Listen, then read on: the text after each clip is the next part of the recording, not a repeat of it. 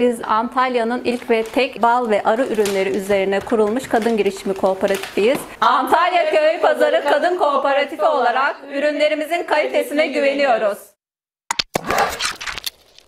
Siz üretin yeter. Merhaba, İkbal Girmen ben. Ziraat mühendisiyim. Antalya Köy Pazarı Kadın Girişimi Üretim ve İşletme Kooperatifinin başkanıyım. Evliyim, iki kızım var. Kooperatif ortaklarımızla birlikte 2020 yılında kooperatifimizi kurduk ve şu anda e, Kepez bölgesinde tek sarnıç kent parkı içinde kooperatifimizin satış yerinde sizleri misafir ediyoruz. Yanımda kooperatif ortaklarımız var. Sibeler'den Melek Gök, Gülçin Işık, Medine Korkmaz. 2019 yılında Antalya Tarım İl Müdürlüğü'nün bir projesi olan sadece içinde kadın üreticilerin olduğu bir pazar kuruldu. Kepez Fantastik Park'ta. Biz de kooperatifimizin kurucu ortaklarıyla birlikte orada bizim de tezgahlarımız vardı. O pazar kurulduktan sonra 2019 yılının Aralık ayında 2020 yılı içerisinde işte Tarım İl Müdürlüğü olsun, Kepez Belediyesi olsun ya da Antalya e, Ticaret İl Müdürlüğü olsun bize kooperatifleştirme konusunda eğitimler vermeye başladılar oradaki kadın üreticilere. Kadın girişimciler için kooperatifleşmenin artılarını anlattılar. Kooperatiflere verilen destek, hibe ve teşviklerden bahsettiler. Kooperatifleşmenin bir tüzel kişilik altında, e, bir e, marka ve isim e, çatısı altında kadınların bir araya gelmesinin ve e, kolektif bir şekilde ekonomiye dahil olmalarının onlar için ne kadar avantajlı olduğunu anlattılar. Kooperatif kurmak çok kolay ama kooperatifi idame ettirmek, devam ettirebilmek çok zor. Aynı hedeflere e, ulaşmak için birlikte kolektif bir şekilde tamamen egolarını bir kenara bırakarak üretime dahil olmaları gerçekten kolay bir iş değil. Biz kooperatiflik ortaklarımızla bunları başarabileceğimize inandık ve anlaşabildiğimiz 7 kurucu ortak bir araya geldik ve 2020 yılının Ekim ayında tüzel kişiliğimize kavuştuk ve kooperatifimizi kurduk.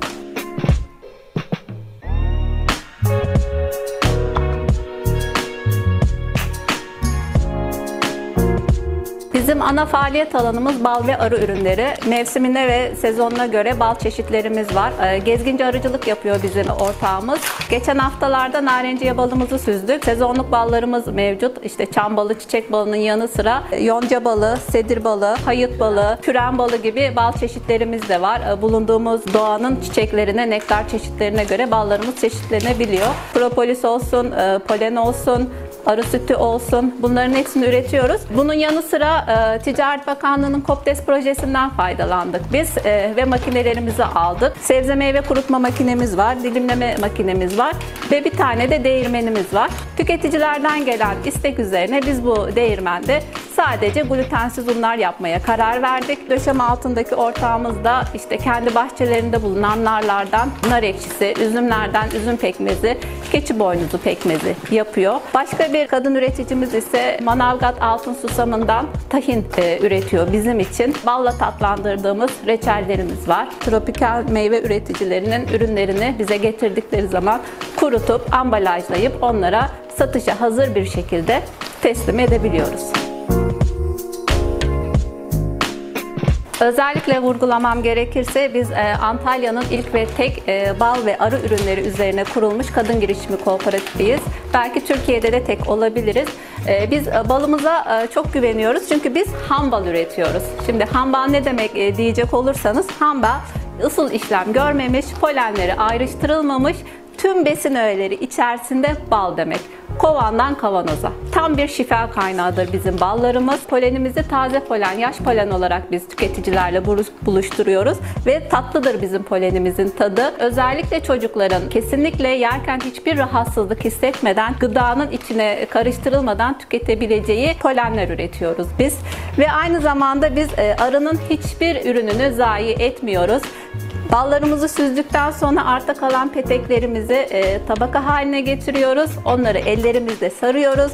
İçerisine hiçbir parafin maddesi koymadan, esans koymadan, aroma ilave etmeden katkısız bir şekilde mum haline dönüştürüyoruz ve bizim mumlarımızın dumanı da şifa kaynağı. Özellikle alerjik astımı olan çocukların uyumadan önce odalarında yarım saat önce yakılması halinde e, onların gece boyunca rahat e, nefes almalarına destekleyici olacaktır.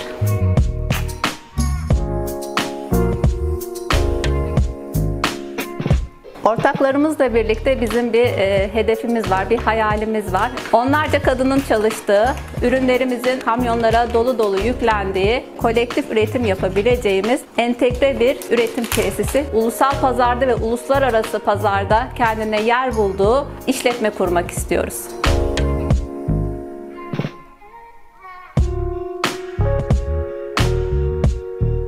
Türk kadınların üretime dahil olması ve kendi ekonomik özgürlüklerini kazanmaları demek, kadının sosyal hayata girmesi demek. Dolayısıyla kadınların e, ekonomiye dahil olmasını biz kooperatif olarak çok önemsiyoruz. Kadınların ekonomiye dahil olması için illaki de kooperatifleşmesi gerekmiyor.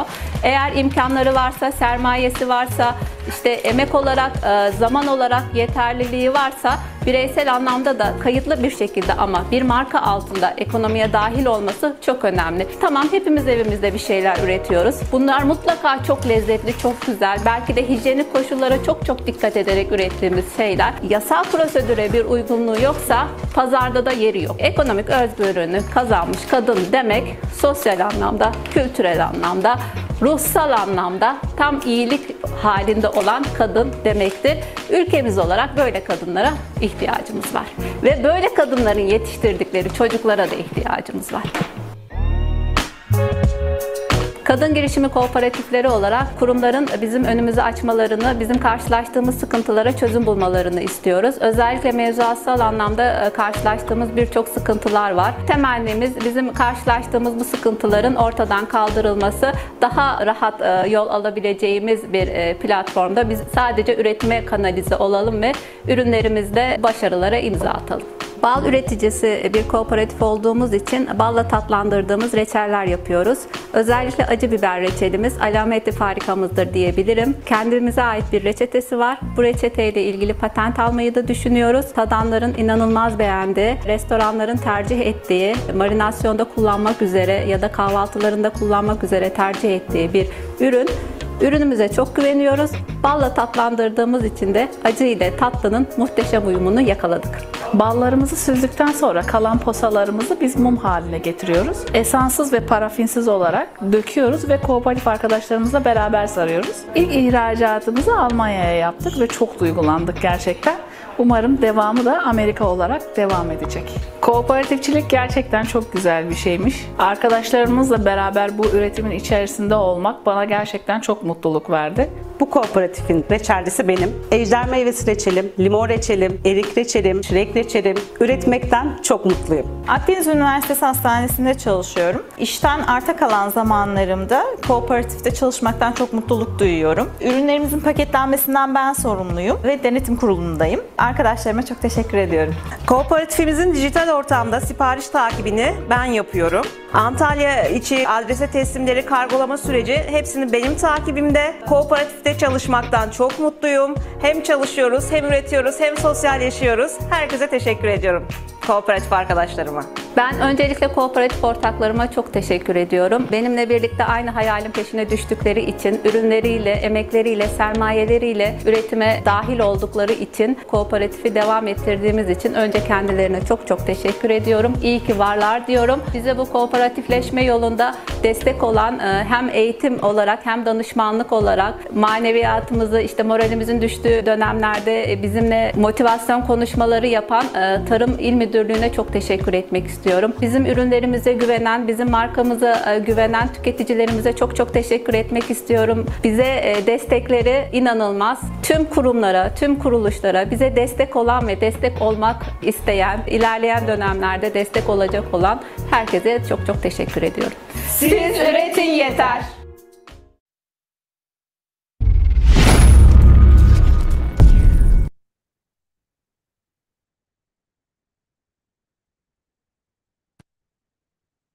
Değerli katılımcılarımız iyi akşamlar. Türkiye'de tarımsal yayın çalışmalarını dijitalleştiren öncü kurum Antalya İl Tarım ve Orman Müdürlüğü'nden ben Ziraat Yüksek Mühendisi Elif Akkaya.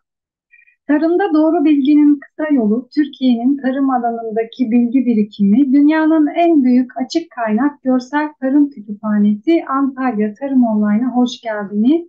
Antalya Tarım Online YouTube kanalımıza abone olup bildirimleri açarak yeni eğitimlerimizi kaçırmadan takip edebilirsiniz. Değerli katılımcılarımız dersimizi beğenirseniz lütfen beğen tuşuna basmayı unutmayın. Bu akşam Antalya İl Tarım ve Orman Müdürlüğümüzün düzenlediği Tarımda Nanoteknoloji Eğitim Programımızın ikinci dersindeyiz. Ve ikinci dersimizde bu akşam nanosensörler ve bitki sağlığı izleme konumuzu bize Yeditepe Üniversitesi'nden doktor öğretim üyesi Zeliha Cansu Canbek Özdil hocamız anlatacak. Sözü kendisine bırakmadan önce sizlere kısaca hocamızın özgeçmişini de aktarmak istiyorum. Doktor Zeliha Cansu Canbek lisans derecesini 2008 yılında kimya alanında Orta Doğu Teknik Üniversitesi'nden yüksek lisans derecesini ise 2011 yılında kompleks yoğunlaştırılmış malzemeler ve yumuşak madde alanında Almanya'nın Regensburg Üniversitesi'nden aldı. 2014 yılında malzeme bilimi alanında Fransa'da bir üniversitede doktorasını tamamladı. 3 yıl otomotiv sektöründe özel bir firmada proje yönetimi alanında çalıştıktan sonra 2018 yılında ilk doktora sonrası araştırmalarını gerçekleştirmek üzere Fransa'nın Bordeaux Yoğun Madde Kimyası Enstitüsü'nde araştırmacı olarak çalışmaya başladı. Ertesi yıl Boğaziçi Üniversitesi Bilgisayar Mühendisliği bölümünde Nano Networking alanındaki doktora sonrası çalışmalarına başladı. Şu anda Yeditepe Üniversitesi Malzeme Bilimi ve Nanoteknoloji Mühendisliği bölümünde yardımcı doçent olarak görev yapmaktadır. Aynı zamanda Yeditepe Üniversitesi Fen Bilimleri Enstitüsü Müdür Yardımcısı ve Tarım Gıda Komisyonu üyesidir. Araştırma alanları fonksiyonel nano malzemelerin üretimi ve karakterizasyonuna odaklanmaktadır. Aynı zamanda nano sensör uygulamalarında kullanılmak üzere mikro akışkan laboratuvar üzeri çip platformlarının geliştirilmesine yönelik çalışmaları da bulunmaktadır. Evet hocam hoş geldiniz. Merhabalar Elif Hanım. Hoş bulduk. Merhaba hocam. Teşekkür ederiz hocam. Sizin enerjinizi aldık ekranlarda. Çok iyiyiz hocam. Hoş geldiniz. Hoş bulduk. Özgeçmişinizde aktarmaya çalıştım hocam. Eklemek istediğiniz bir şey var mıdır? Yok, gerçekten çok teşekkür ediyorum. Ee, davet ettiğiniz için öncelikle çok teşekkür ediyorum. Ee, ilk kez çalışma alanlarımı aslında böyle bir platformda aktaracağım. Benim için de çok güzel bir deneyim olacak diye düşünüyorum. Hocam biz de yani akşam tam istirahat vaktimizde bize vakit ayırdınız. Buradasınız bu akşam. Onun için e, ayrıca tekrar teşekkür ediyoruz. E, Ben artık sözü size bırakmak istiyorum. Buyurun paylaşım yaparak dersinize başlayabiliriz hocam. Tamamdır. Şimdi ekranımı rahatlıkla görebiliyor musunuz şu an? Evet şu an her şey yolunda hocam. Süper. Ee, aslında sizin de bahsettiğiniz gibi Yeditepe Üniversitesi Malzeme Bilimi Nanoteknoloji Mühendisliği'nde ben öğretim üyesiyim. Ee, şu- özellikle bu platform bizim için çok değerli çünkü Türkiye'de e, lisans eğitimi veren bu konuda nanoteknoloji mühendisliği eğitimi konusunda lisans eğitimi veren çok nadir aslında programlardan birisi bizimki Yeditepe Üniversitesi olarak bu program. Bunun haricinde farklı üç tane daha farklı üniversitede aynı şekilde malzeme bilimi ve nanoteknoloji mühendisliği adı altında var. Yeditepe'de bunlardan aslında bu aileden bir üye. O yüzden özellikle nanoteknolojinin farklı alanlarda kullanımı ve bugün özellikle tarım konusunda, tarım gıda konusunda kullanımı bizim için çok değerli. Öğrencilerimiz açısından da çok değerli. Çünkü nanoteknoloji aslında yeni bir teknoloji, yeni e, gelişmeye devam eden ve sürekli gelişime açık bir teknoloji. Bugün biraz onlardan bahsedeceğim. Benim bugün aslında spesifik olarak konuşacağım konu nanosensörler konusu. Şimdi bu malzemelerin aslında neden önemli olduğunu geçen haftaki e, dersi biraz izledim. Çok kapsamlı bir şekilde hocamız çok güzel de anlatmış. Ben çok kısa biraz daha buna eklemeler yapacağım ama onun haricinde genelde direkt nanosensörler konusunda e, konuşacağım. İşte gördüğünüz gibi gündemi biraz böyle oluşturdum. Bunun haricinde sorularla aslında biraz daha destekleyebileceğimiz güzel bir gündem olur diye düşünüyorum umarım katılımcılar için. Biraz nanoteknoloji kavramından e, özellikle inorganik malzemelerle nanoteknoloji kavramından bir giriş yapmak istiyorum. Daha sonrasında nanoteknoloji destekli tarım dediğimiz özellikle işte nano emülsiyonlar, nano pestisitler, nano sensörlerle ilgili genel bir bilgi verip nano sensörler konusunda konuşacağım ama şöyle bir problemimiz var. Şimdi ben hep nano sensör dediğimde e, genellikle bitkiden ziyade bitmiş ürün, gıdanın aslında e, takibinden e, bahsettiğim düşünülüyor. Ama biz burada aslında daha gıda aşamasına gelmeden tarladaki takip aslında bizim için çok önemli. Bitki sağlığı dediğimiz konu aslında biraz da o. Bunun haricinde yine gıda biyosensörleri, nano biyosensörlerinden çok kısa bahsedeceğim ama önümüzdeki hafta, haftalarda biyosensörlerle ilgili özellikle gıda güvenliği ile ilgili daha detaylı konuşacak zaten hocalarımız diye biliyorum programı az çok. Şimdi hızlıca başla, başlayayım aslında. Şimdi nanoteknoloji kavramında genellikle en çok yaşadığımız, benim yaşadığım problem görselleştirme, soyut bir kavramdan bahsediyoruz. Aslında gözle görmediğimiz bir kavramdan bahsediyoruz. Şimdi bu gözle görmediğiniz soyut kavramı görselleştirmek ya da zihnimizde canlandırmak gerçekten çok zor. Çünkü bir nanometre dediğim zaman e, kendim de düşününce göremediğim bir boyuttan bahsediyoruz. Acaba neleri organize ediyoruz, nelerden bahsediyoruz? Bu e, boyutta. O yüzden en mantıklısı genellikle e, göreceli olarak bildiğimiz yani ölçeğini bildiğimiz e, sistemlerle karşılaştırmak çok makul. Ben genelde hep derslerimde saç telinden örnek veririm. E, bir insanın saç teli 20 mikronla 200 mikron arasında, 200 mikrometre arasında değişen bir skala. Yani gördüğünüz herhangi saç telinizi elinize attığınızda saçınız 20 mikronla 200 mikron arasında değişen bir kalınlığa sahip. Ama farkındaysanız saçımızdaki her detayı göremiyoruz bir boyutla ilgili, geniş çapla ilgili bilgimiz var ama boyunun haricinde tamamen görselleştiremiyoruz. İşte saçınızın özellikle 200 mikron kalınlığında, mikrometre kalınlığında saçınızın aslında ben şu an binde biri ölçekte daha küçük bir şeyden bahsediyorum. Çünkü nanoteknoloji dediğimiz şey saçınızın binde biri bir ölçek. Nano çünkü bir ölçek birimi aslında. Hadi bunu farklı şeylerle belki desteklemek en azından görselleştirmek için daha rahat olabiliyor. Kendi adıma da söyleyebilirim. Örneğin karınca bildiğiniz bir ölçek. Karınca mezos e, ölçek dediğimiz ölçekte bir aslında canlı. Bu ne demek? Gözle görebiliyorsunuz ama detayları ayırt edemiyoruz ne yazık ki. Karınca da böyle bir ölçek biriminde işte bir e, karıncanın şu an işte uzunluğu 4 milyon nanometre. Benim biraz sonra bahsedeceğim sistemler 1 nanometre yani karıncanın aslında milyonda birinden bahsediyorum şu aşamada. E, bu yüzden nanoteknoloji aslında gözle göremediğimiz ölçekte malzemeyi organize etme yeteneği, organize etme mühendisliği bizim şu an e, lisans eğitiminde verdiğimiz dersler bunu desteklemeye yönelik.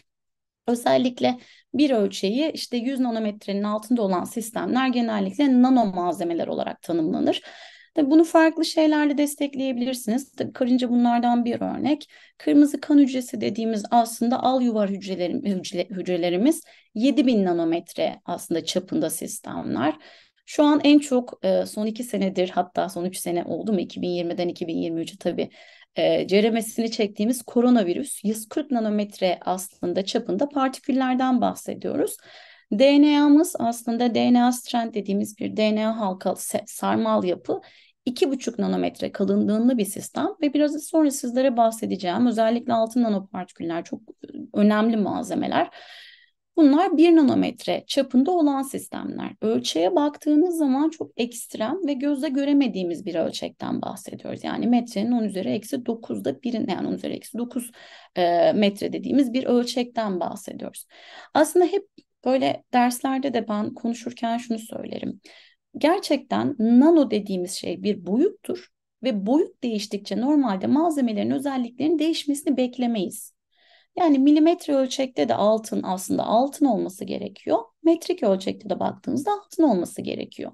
Ama nano ölçek bunlardan biraz farklı sistemler. Neden? Özellikle hep altın örneğinden gidiyorum. Çünkü ben altını çok seven bir insanım. Sevmeyen yoktur diye düşünüyorum burada güzel malzemeler baktığınızda. Şimdi altın külçesi hayal ettiğiniz bir durumu düşünün örneğin.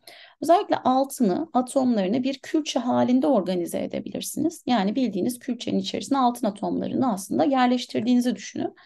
Bir de bunları çok daha küçük boyutlarda küresel partikül olarak organize ettiğini düşünün, ettiğinizi düşünün. Bu durumda aynı sayıda atomu iki tane farklı organizasyondan bahsediyoruz. bahsediyoruz. Küresel olarak nanopartikül boyutta büyümesini sınırlandırdığınız milyarlarca olan bu altın nanopartikülleri bize ne kazandırıyor?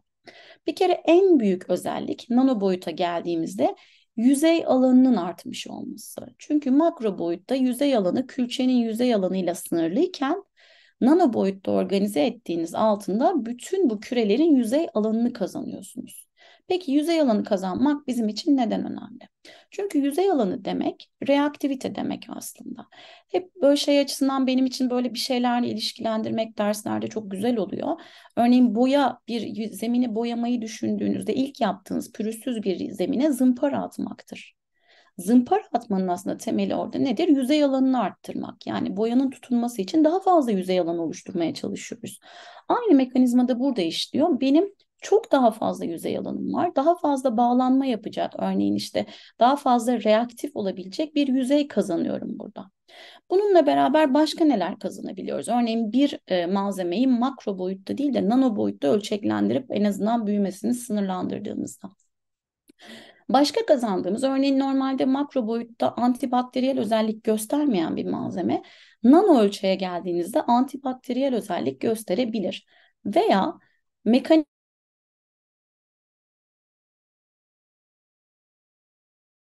olarak çok fazla nano ekstrem e, yoğun bir şekilde mekanik özelliklerini iyileştirebilirsiniz. Bunlardan birkaç örnek vereceğim özellikle optik özelliklerden. Ya da işte makro boyutta kesinlikle hiçbir şekilde elektriksel iletkenliği olmayan yani sonuçta elektriksel iletkenliği bakır gibi sistemlerde bekliyoruz metallerde. Nano boyutta organize ettiğinizde elektriksel iletkenliği olmayan bir sistem iletken gibi davranmaya başlayabilir. Bunlar aslında çok ekstrem şeyler. Yani boyuta bağlı yeni özellikler kazanmak. İşte e, en çok işte dediğim gibi burada hep şeyden gidiyorum, altından gidiyorum ama başka bir örnek vereyim. Örneğin silika.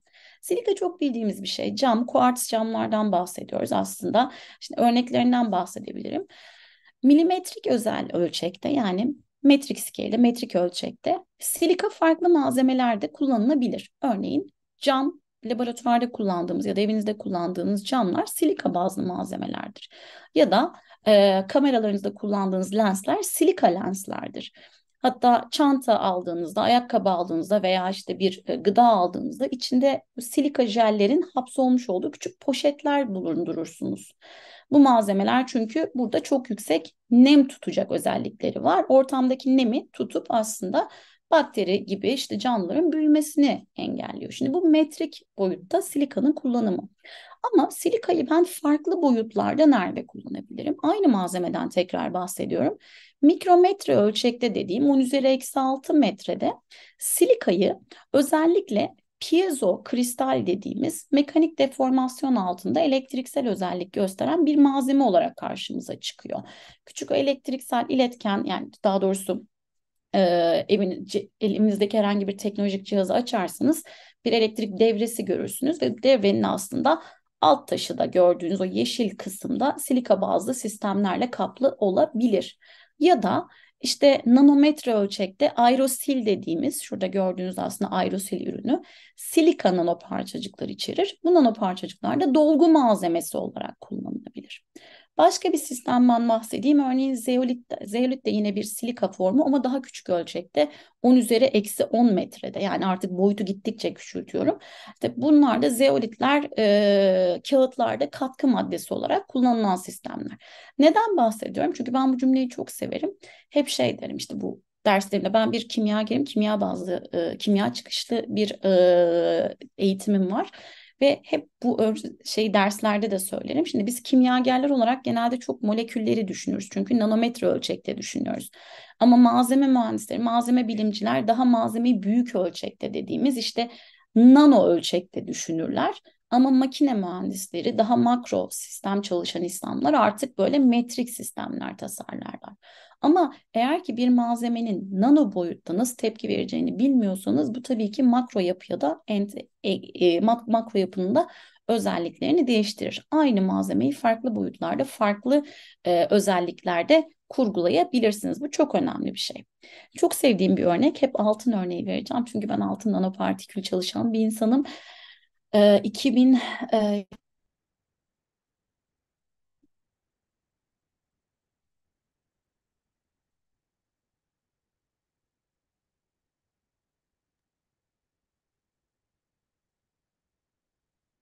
Gördüğünüz gibi sarı renkli sistemlerdir. Ee, bu altın kristalleri şurada gördüğünüz gibi sarı renkli ve solüsyon içerisinde hapsolmuş kristal yapılardır. Özellikle altının büyümesini e, nano ölçekte sınırlandırırsanız yani bu kristalleri kocaman makro kristaller değil de küçük e, 20 nanometre boyutunda küresel partiküller olarak büyümesini sınırlandırırsanız şurada gördüğünüz güzel altın işte sarı rengi gider ve kırmızı bir altın nanoparçacık solüsyonu elde edersiniz.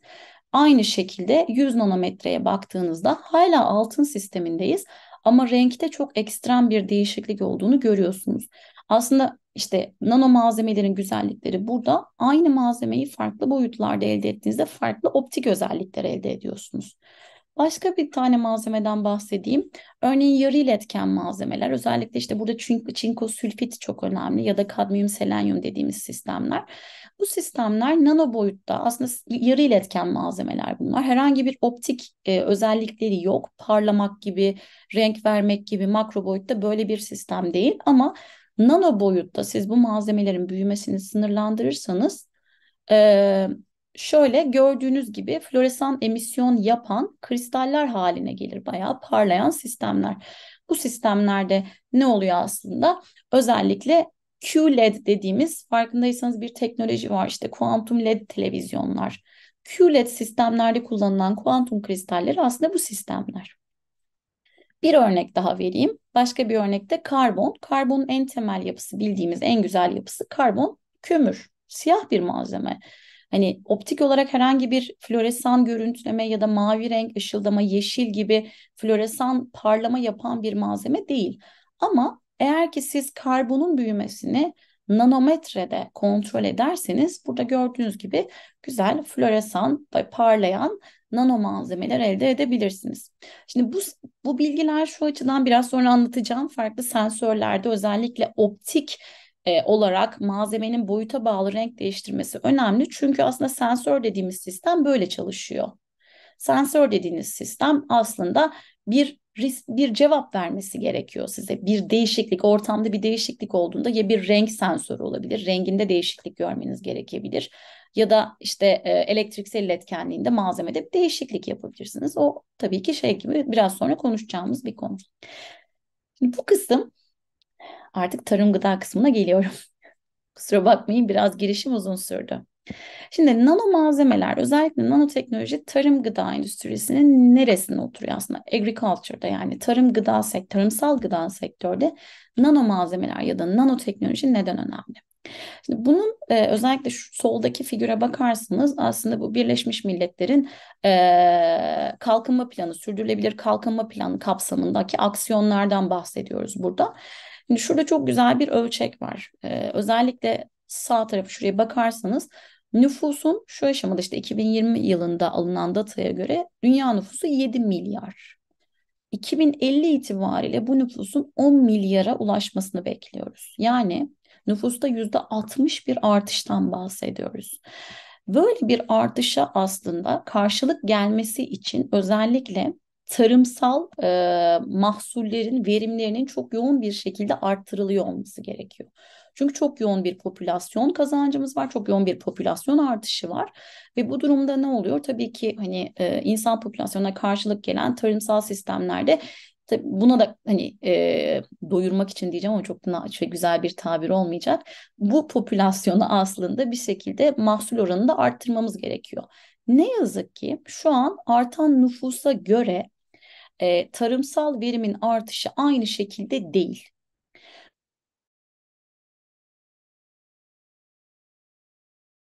Bu nedenle en arazilerde özellikle bütün kalkınma planının aslında temelde oturduğu nokta bu. Tarımsal verimi arttırabilmek için yani hasat e, özellikle e, rekolteyi arttırmak için yapılan gıdalarda tarımsal kimyasalların, agro, agrokimyasal dediğimiz kontaminantların çok yoğun kullanılması ve kontrolsüz kullanılması.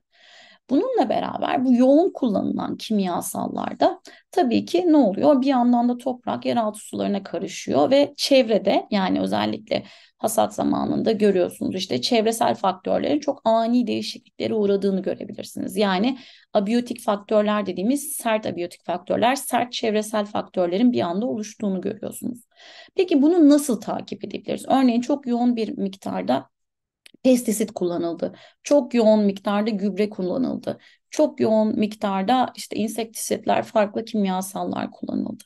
Bunları nasıl takip edebiliriz sorusuyla beraber yeni teknolojilerin gereksinimi ortaya çıkıyor. Bu yeni teknolojiler yani takip sistemleri, genel takip sistemleri bu aşamada çok büyük önem kazanıyor. İşte nanoteknoloji bu kapsamda çok farklı alanlarda kullanılıyor. Sadece hani bitki sağlığı takibinde değil, e, özellikle işte tarımın mahsul oranının arttırılması için nano emisyonlar, işte nano fertilizer dediğimiz gübreler, nano emisyon dediğimiz işte katkı malzemeleri ya da e, nano beslenme ajanları gibi sistemlerin kullanılmasından bahsediyoruz. Ayrıyeten sadece bu tabii ki tarım tarafında değil, bitmiş üründe yani bitmiş gıdada, paketlenmiş gıdada e, raf ömrünün uzatılması, işte gıda bozulması varsa bunun izlenmesi aynı zamanda bitkinin sağlığının izlenmesi gibi sistemlerde de kullanılabiliyor nanoteknoloji. Biraz daha detaylı olarak şimdi burada nano malzemelerin ya da nanoteknoloji ajanlarının kullanımından bahsedeceğim. Ben bu figürü çok seviyorum. Ee, bu figürü gördünüz diye düşünüyorum. Benim en sevdiğim figürlerden birisi. Çünkü gerçekten nano sensörlerden ya da nano sistemlerden kaçamıyoruz. Hiçbir şekilde tarımda da gıdada da kaçamıyoruz. Ee, şu an sahada kullanılan çoğu kimyasal aslında, çoğu pestisit, çoğu işte gübre nano bazlı ajanlar. Ee, özellikle işte e, insektisitlere karşı, böceklenmeye karşı kullanılan kimyasallar yoğun oranda nanopestisit ajanları içeriyor. Bununla beraber işte gübre de kullanılan sistemler aslında yüzey alanı çok fazla olduğu için daha fazla gübre kullan daha az gübre kullanımını ve daha verimli gübre kullanımını tetiklediği için gübreler de yine nano boyutta organize edilmeye çalışılıyor. Ama tabii ki benim en çok ilgimi çeken kısım nano pestisit ya da nano e, gübre kullanıldığı durumda bitki sağlığı nasıl etkileniyor? Çünkü bunlar anlık değişimler. Bir kimyasal ajan kullandınız ve bitkinin anlık olarak bunu buna cevabı ya da bitkinin büyümesinin buna tepkisi ne? Bizim aslında benim şu anki e, aşamada e, araştırma alanlarımdan birisi özellikle bitki giyilebilir teknolojilerinde yani bitkiyi direkt olarak takabileceğiniz e, elektronik sistemlerin, esnek elektronik sistemlerin nano malzeme tabanlı e, teknolojilerini oluşturmak diyebiliriz. Yani buradaki amacımız bitkinin sağlığını eş zamanlı ve hassas bir şekilde izleme olanağı veren bir teknoloji geliştirmek. Ee, burada nanosensörlerin belki tanımını yapmak çok önemli. Çok temel bir sistem. Örneğin şöyle düşünebilirsiniz. Ee, bitkide bir problem var, bir e, bozulma, kontaminasyon var. E, ekstrem bir böceklenmeden bahsedebilirsiniz ya da gübre e, çok fazla kimyasal kullanımından kaynaklı olarak bitkinin e, ya da çevresel faktörlerdeki değişimlerden kaynaklı olarak bitkilerde gördüğünüz gibi bazı problemler e, çıkabiliyor. Bu sistemlerin aslında aynı zamanda mobil telefonunuza uyarı verebilmesi için giyilebilir elektronikler üretmeye çalışıyoruz. Bir tane örneği böyle gösterebilirim. Aslında şu örnek çok da belki e, göz açıcı bir örnek değil aslında iç açıcı bir örnek değil diyebilirim. Çünkü bu teknolojiler yeni gelişen teknolojiler. Gördüğünüz gibi bitkinin e, sapına direkt olarak saplanmış içerisine yani gömülmüş bir teknoloji bir çip gibi tasarımı var burada. Nano sensör tasarımı var. İçerisinde nano malzemeler yoğun oranda kullanılmış miktarda ve kablolu bir sistem. Aslında amaç e, ileride kablosuz teknolojiler kullanılarak farklı bitkilerden ya da far, sahada farklı e, alanlardan sürekli olarak data toplayabilecek ve e, otomatik olarak kullanıcıları uyarabilecek bir sistem geliştirmek. Amacımız bu. Aslında teknolojinin gittiği nokta bu. Tabii ki burada neleri aslında gözlemleyebiliyoruz? Bu sensörler neleri algılayabiliyorlar? Örneğin çok yoğun pestisit kullanımı var. Sahada e, çok ekstrem bir şekilde işte kimyasal kullanılıyor ve bu kimyasalın bitki büyümesine e, çok büyük bir dezavantajı var. Aslında pestisit kullanımını otomatik olarak algılayabiliyoruz bu sistemlerle. Zararlı organizmalar gibi işte örneğin böceklerden ya da patojenlerden bahsedebiliriz. Bu patojenlerin varlığını yokluğunu ya da ne kadar oranda varlığını yokluğunu aslında algılayabiliyoruz bu sistemlerde. Bununla beraber hem eş zamanlı olarak bitkinin hayati parametrelerini ölçerken toprağın da parametrelerini ölçebiliyor. Bu ne demek? Örneğin bitki sıcaklığını ölçebilir. Yani bitkideki nem miktarını ölçebilir. Bitkinin büyüme hızına bakabiliriz. Bununla beraber toprak bileşenlerini, işte topraktaki azot miktarını, farklı mineral ya da farklı bir analiz yapmak istersek buna özgü bir sistemde tasarım yapılabilir. Sıcaklık miktarı, sıcaklığını, toprak sıcaklığını ve kimyasal kontaminantın miktarını, varlığını, yokluğunu aslında nanosensörlerle analiz edebiliriz. Aslında çok yönlü sistemler. Ama tabii şimdi birkaç örnek göstereceğim size. Bunu göstermeden önce bu sistemler hoş, güzel. Peki her bitkiye böyle küçük küçük cihazlar takalım. Çok avantajlı mı değil mi diye aslında sormak gerekiyor. Çünkü burada bir teknoloji geliştirirken en büyük problem bu teknolojinin gerçekten adapte olup olmaması. Bununla beraber e, teknolojinin gerçekten e, ekonomik boyutunun da düşünülmesi gerekiyor. Çünkü sahada kullanılacak sistemler tek seferli kullanıma mı tasarlanacak ama tek tekrar tekrar kullanıma izin verecek mi? Bunlar hep aslında teknolojinin geliştirme problemleri. Nano sensörlerin birçok avantajı var. Ben sadece çok hızlı olarak birkaç tanesini sıraladım. Tabii bir sürü de dezavantajı var. Bu avantajların en başında aslında çok etkili duyarlılık dediğimiz yani diyelim ki bitki büyümesini ben işte dakikalar içerisinde takip edebiliyorum. Dakikalar mertebesinde hatta belki saniyeler çok da hani etkili değil ama dakikalar mertebesinde takip edebiliyorum. Çok etkili diyelim ki sıcaklık değişti. Bunun bitki, bitki büyümesine olan etkisi ne oldu? Bunu gözlemleyebiliyorum. Bununla beraber çok hassas veri toplayabiliyorum. İşte dakikalar arasında da veri toplayabiliyorum. Birden çok parametreyi toplayabiliyorum.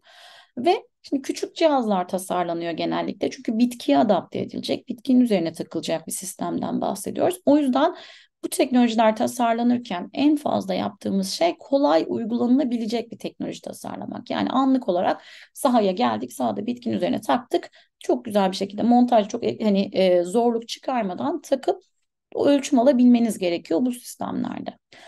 Ama e, bu kadar da tabii aslında anlattığım kadar kolay olmuyor. Çünkü biz bu cihazları geliştirirken çok yüksek maliyetlerde. Çünkü nano malzemelerin şu anki üretim maliyetleri çok yüksek. Bunun için daha e, verim daha doğrusu düşük maliyetli üretim metotları bulmaya çalışıyoruz aynı zamanda. Araştırma konularımızdan bir tanesi de bu.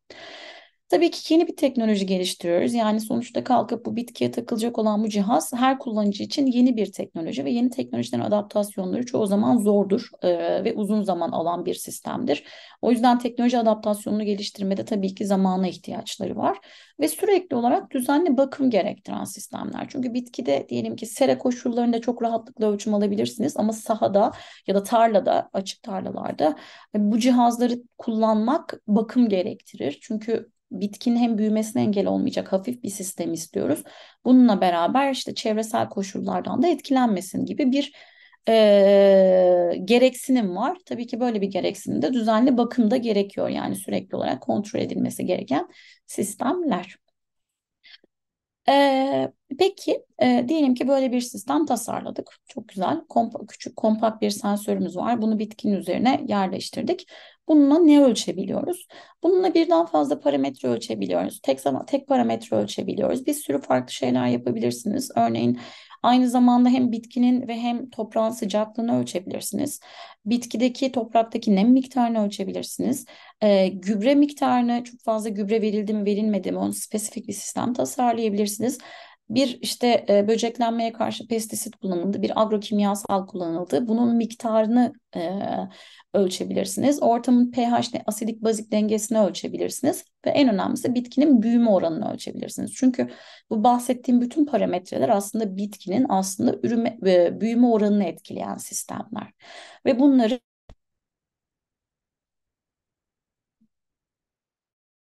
çevresel faktörler Orada benim galiba kulaklığım bağlanıyor. Kusura bakmayın kulaklığım da arada. Umuyorum gitmiyordur sesim diye düşünüyorum. Hocam arada gidiyor valla. Gidiyor mu? Benim kulaklığım otomatik olarak çantamdan bağlanıyor. Ben o kulaklığı alıp kırayım. Ee, Hocam. Yok. Hani arada bir normalde Bluetooth'un şöyle yapayım. Bluetooth belki kapatsam daha rahat olacak. Çok özür diliyorum size. Şurada Bluetooth'umuzu hemen kapatalım.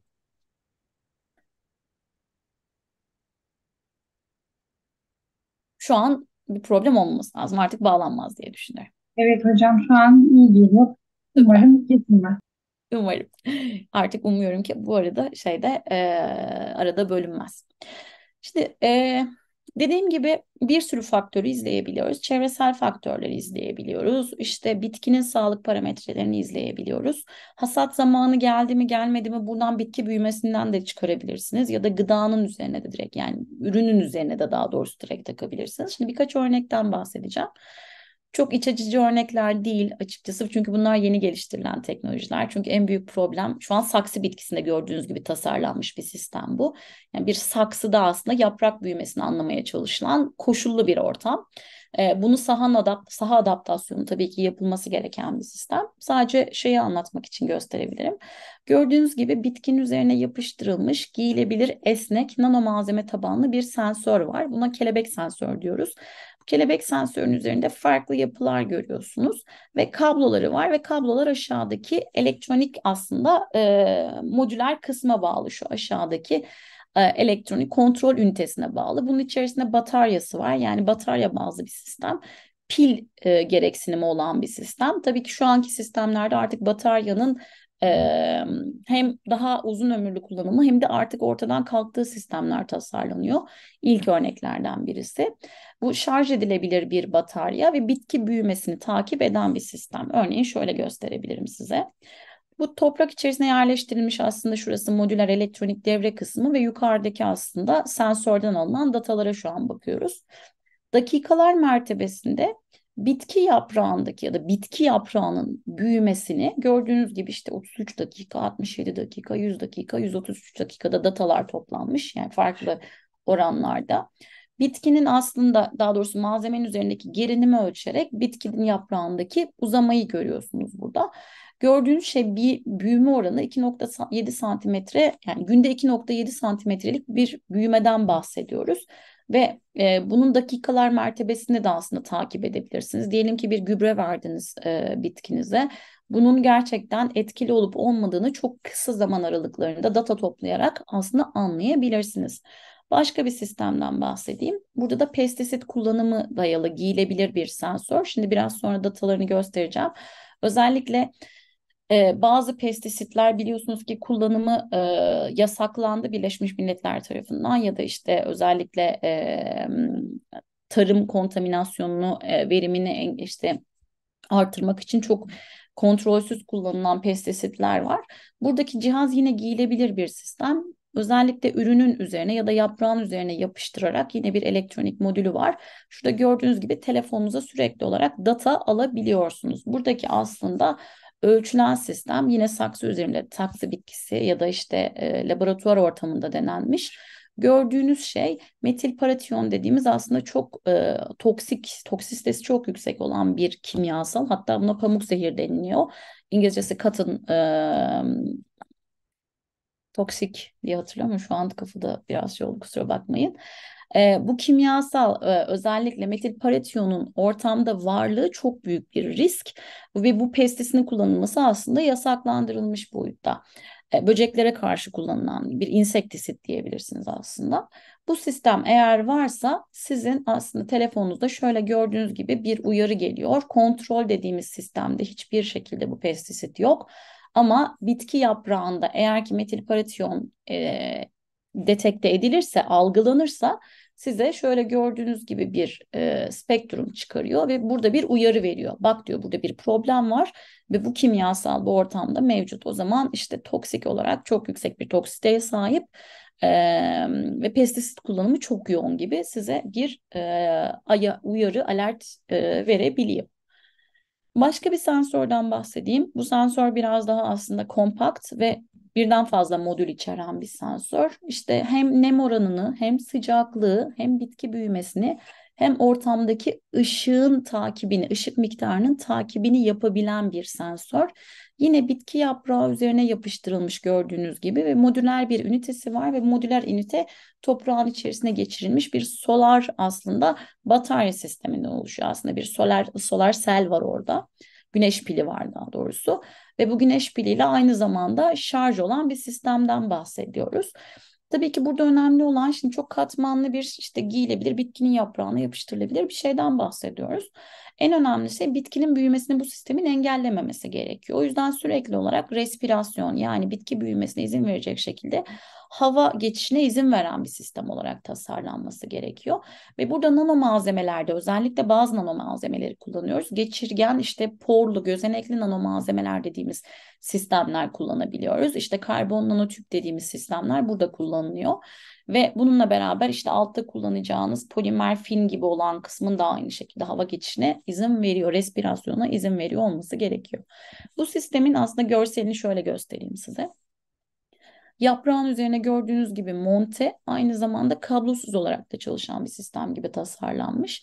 Yaprağın üzerinde şöyle gördüğünüz gibi çok ince bir polimer filmin üzerine nano malzeme bazlı şöyle bir e, tasarım, bir devre tasarımı yapılmış ve sürekli olarak buradaki elektriksel iletkenlik değişimine bağlı olarak, gerinime bağlı olarak hem çevre koşullarını hem de bitki büyümesini ölçebiliyorsunuz. Bununla beraber tabii ki gördüğünüz o e, solar aslında güneş pili kısmı hem de ortamdaki ışık miktarını size sürekli olarak veren bir sistem olarak da ayrıyetten oradan da data sağlayabiliyor. Başka bir sistemden bahsedeyim. Ee, bu da grafen bazlı bir giyilebilir, bitki giyilebilir sensörü yapısı. Aslında yine bitkinin farklı yapraklarına yapıştırabiliyorsunuz. Serada yapabiliyorsunuz genelde bu sistemler. Hep seraya uygun sistemler. Ee, açık alanlarda da kullanılabilir ama tabii ki bunun için tasarımın buna göre olması gerekiyor. Diyelim ki e, bu sistemler tek bir kontrol devre yani tek bir e, e, modüler üniteye bilgi akışı sağlasın ve bu durumda işte belli parametreler eğer belli değerlerin üstündeyse bitkiye sağlıklı diyebilelim değilse bitkiyi sağlıksız olarak adlandıralım. Diyelim ki örneğin bitki büyümeniz için bir şeyiniz var referans değeriniz var dakikada şu kadar büyüme devam ediyorsa bitkim sağlıklı değilse bitkim sağlıksız olarak adlandırılabilir. Burada da işte gördüğünüz gibi kameralar var, görüntüleme kameralar ve kameralar sürekli olarak sensörlerden gelen dataları al alarak ve pozisyon ko koordinat bilgisi alarak hangi bir hangi bitkinizde işte e, enfeksiyon var, hangi alanda bir işte problem var size bununla ilgili şu gördüğünüz geniş çaplı bir data sağlayabiliyor. Örneğin burada birkaç tane farklı sensörlerden data toplayabiliyorsunuz. Veri biliminin aslında önemi burada açığa çıkıyor. Biliyorsunuz ki artık veri bilimi mühendisliği dediğimiz bir mühendislik var. Çok bu kadar fazla sensörlerden gelen datayı işleyip gerçekten değerli bilgiyi bulmak çok önemli. Şimdi dediğim gibi hep bitki sağlığından bahsediyoruz ama sensörlerin çok yoğun kullanım alanlarından birisi de gıda güvenliği takibi. Gıdamız herhangi bir işte patojenle kontamine olmuş mu? Gıdamızda herhangi bir katkı maddesi var mı? Gıdamızda orada olmaması gereken bir kimyasal var mı? Bununla ilgili nano malzemelerin ya da nanoteknoloji tabanlı sistemlerin çok yoğun kullanımı var. Örneğin burada gördüğünüz bir süt e, kartonu tasarımı aslında. Bu kartonun üzerine entegre şurada gördüğünüz ufak bir etiket gibi bir sistem görüyorsunuz ve bu etiket aslında bir kronometre gibi bir sayaç içeriyor. Burada size eğer ki renk kodları atanmış ve bu renk kodlarına göre eğer ki sütünüzü kullanırsanız belirli zaman aralığında probleminiz yok ama belirli renklere geldiğinizde ortamda patojen miktarının arttığını görüyorsunuz. Bu bir sensör olarak çalışıyor ve bu altın nanopartikül bazlı bir sensör. Aslında şöyle eğer ki ortamda mikrobiyal growth dediğimiz herhangi bir işte e, işte E. coli strain ya da işte herhangi bir bakteriyel büyüme varsa bir şey varsa e, mikrobiyal bir olay varsa benim renk indikatörüm gördüğünüz gibi işte farklı renk seviyelerine gelebiliyor. İşte özellikle burada e, indikatörün şey tam tersi tasarlanmış. Biliyorsunuz ki bakteri büyümesi varsa işte yeşilde biraz kafa yanıltıcı olabilir. Yeşilde için içmeyin, kırmızıda için gibi bir sistem tasarlanmış. Tam tersi de yapılabilir. Ama bu sistemlerde gördüğünüz gibi bu da bir nanosensör. Ortamın aslında koşullarına göre size gıda güvenli mi değil mi diye bir bilgi aktarımı yapıyor. Görsel bir sensör. Başka bir sensörden bahsedeyim. Ee, özellikle işte e, gallik asit, şuradaki gördüğünüz bir gallik asit aslında e, molekülü. Gallik asit çok yüksek oranda antioksidan, e, antioksidan bir malzeme ve gallik asitin çok yüksek oranda olması tabii ki e, biyolojik olarak bir problem. Yüksek oranda antioksidan bir malzeme tüketiyorsunuz. O yüzden nano malzemeleri burada gallik asitle aslında bir araya getirdiğinizde gördüğünüz gibi bir renk sensörü olarak çalışıyor. Gallik asit miktarına göre e, malzemenizin renginde bir değişim görüyorsunuz. Bunu da özellikle işte telefonlarda bir telefon uygulamasıyla eşleştirerek sadece gıdanızın görselini aldığınızda diyelim ki işte gallik asit içeren yoğun bir malzemem var ve ben bunu nano malzememle bir araya getirdim. Bir ELISA sensörü gibi çalışıyor. Bir araya getirdim ve renk değişimi oldu. Bunu da telefon uygulaması ile çektiğimde size ortamdaki gallik asit ya da antioksidan miktarını gösterebilir. Aslında bir sensör, bir konfirmasyonel dediğimiz değişikliğe giren ve bir cevap veren, bu çevresel değişikliğe cevap veren bir sistem. Başka bir e, gıdanın özellikle gıda güvenliğinin nano malzemelerle ya da nanoteknolojiyle takibiyle ilgili çok önemli bir konu. Melamin aslında e, yüzey kaplamalarında kullanılan bir aslında malzeme, bir yapıştırıcı malzeme. Ama azot oranı çok yüksek melaminde ve en büyük problem şu an süt ürünlerinde. İşte diyelim ki protein miktarının çok düşük olduğu süt ürünlerinde melamin katkısı yapılır. Ve bu da çok büyük bir problem. Normalde melamin dediğim gibi yapıştırıcı adhesiv bir malzeme. Bunu süt ürüne katkıda özellikle protein oranını fazla göstermek için katkılandırılabilir. Şimdi melamin oranının tayininde nano malzemelerin kullanımı işte yine altın nano malzemelerin kullanımı çok yoğunlukla yapılan bir algılama aracı. Melaminle altın bir araya geldiklerinde otomatik olarak sisteminizde bir renk değişikliği gözlemlersiniz. Bu da ortamda melamin ne kadar var diye bir korelasyon yapmanıza sahip olan bir renk sensörü. En son artık bisfenol bir tane daha örnek vereceğim gıda. Çünkü gıdanın özellikle e, gıda biyosensörleri ya da gıda nanosensörleri çok önemli bir konu. Çünkü bitki sağlığında işte gübre takibi, işte insektisit, pestisit takibi ne kadar önemliyse gıdada da kontaminantların takibi o kadar önemli. Çünkü e, yediğimiz gıdaların özellikle farklı kontaminantlar tarafından e, dejenere edildiğini, yapısının bozulup bozulmadığını ya da tüketimin problemli olup olmadığını anlamak çok büyük bir problem. Burada bisfenol, bisfenol aslında bir e, aslında BPA dediğimiz malzeme, bir plastik aslında. Ee, şimdi özellikle biliyorsunuz ki BPA kullanımı özellikle plastik biberonlarda, bebek biberonlarında yasaklandı.